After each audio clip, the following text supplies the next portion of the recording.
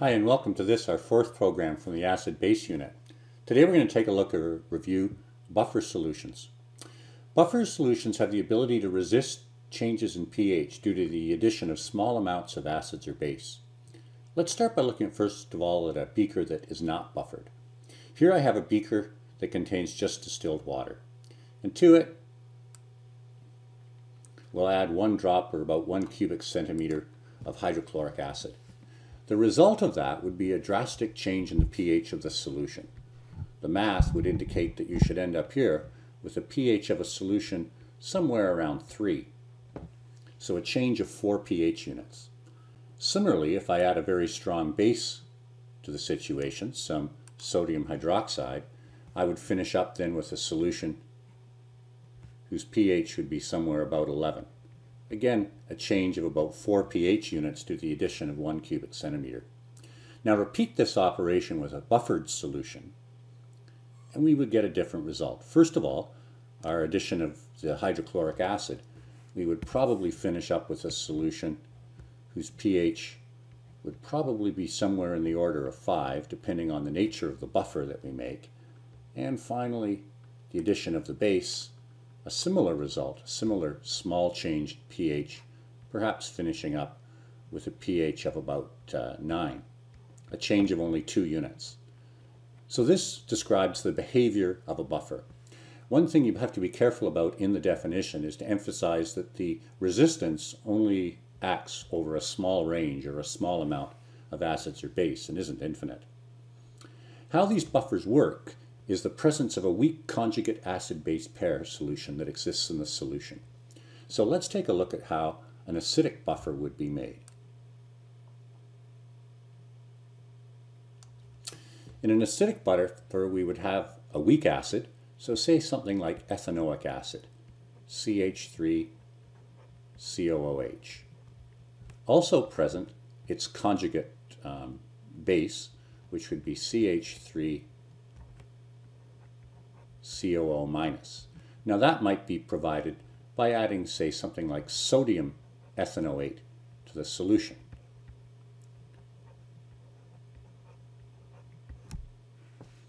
Now, let's say we bring along our small container that has some acid in it. The basic part of the buffer will react with that. So the CH3 COO minus will essentially undergo an equilibrium reaction with the addition of this shifting in the forward direction to produce the weak acid. This consumes or reduces the amount of the hydrogen ion. Similarly, if I add a small amount of base to the solution, the acid part kicks in and the ethanoic acid will react with that base by shifting in the forward direction, turning the hydroxide ion into a water molecule and generating the conjugate base.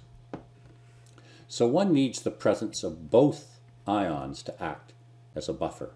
And usually in a buffer, you wish to have equal amounts of these two species, therefore allowing you to buffer equally both in the addition H plus and the addition of OH. In a basic buffer, our ingredients would be a weak base, so say something like ammonia, and its conjugate, which would be the ammonium ion. And again, that might be provided by, say, something like ammonium chloride. In a similar fashion, if we add acid. Then the conjugate base portion of our buffer will react with that to produce the ammonium ion by shifting in the forward direction. If we add OH, then the conjugate acid will react with that, shifting in the forward direction to produce water and ammonia. So whether we have an acidic buffer or a basic buffer, um, this will determine the range of pH for which your solution is protected or buffered.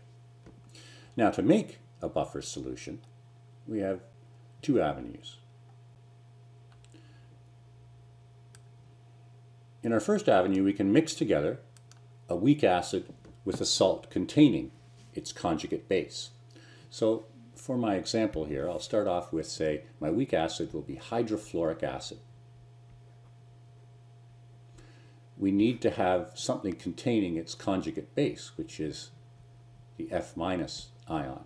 Now you can't just get bags of F minus ions, so we would probably have to select something like sodium fluoride. And to have something that's roughly equal amounts, we would perhaps use uh, 0.1 moles of this and 0.1 moles of this and mix them together in our solution. Let's take a look at a one that's made from a base. Um, so we have this combination, the bicarbonate ion and its conjugate partner. Um, we could use, say, the carbonate ion. They differ by only one H+. plus. So again, we have ions present, so we probably might use something like sodium bicarbonate or sodium hydrogen carbonate in conjunction with sodium carbonate. And again, perhaps equal amounts, 0.1 mole and 0.1 mole of each of them. So these can be mixed directly in the solutions to create our buffer pair. Our second method of creating a buffer solution involves conducting a little bit of a reaction. We could mix together a weak acid with a strong base, but not in equal amounts because we only want to partially ionize the solution. I'm going to demonstrate that. So for my weak acid, let's again start with ethanoic acid.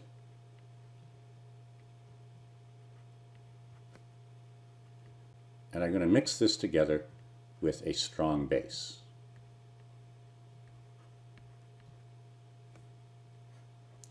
Reaction will proceed in the forward direction primarily, and I'm going to end up producing water and um, CH3, COO, Na. Now, this is my weak acid here. And over here, this ion is the weak base. So this reaction creates my conjugate acid-base pair. Now, I want to make sure that I have equal amounts of these in my buffer solution. So let's say I initially started in my container with one mole per liter of this. I would add approximately half of this amount to partially react with it. So I'm going to put in 0.5 moles of NaOH. And initially there was none of this and none of this. This is my limiting reagent, so it's going to be completely consumed. It's all going to be reacted. And that's going to end up making 0.5 moles of this, and it's going to use up 0.5 moles of this. That will be my change. So when the reaction is over, at equilibrium in this case, I'll have 0.5 of this and 0.5 of this. Thereby I've made my weak base and I have approximately equal amounts of them. So this is but another way. Let's take another look at a, an example of this using a weak base with a strong acid. So for my weak base, let's start with ammonia and react it with HCl. The products of the reaction, we can view them as ammonium ions and chloride ions. So here I have my weak base and here my weak acid.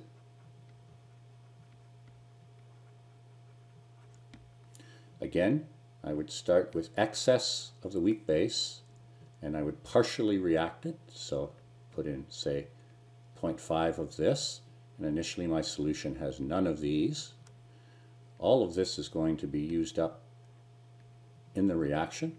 So this is also going to go down because it's a one-to-one -one ratio. And this one will go up, as will the chloride ion. However, once I reach the end of the reaction, I'll have 0.5 of this and 0.5 of this. Again, approximately equal amounts of my conjugate acid-base pair. In our next uh, program, we'll take a look at titration curves and how this buffering action takes place in those as well. Thanks for watching.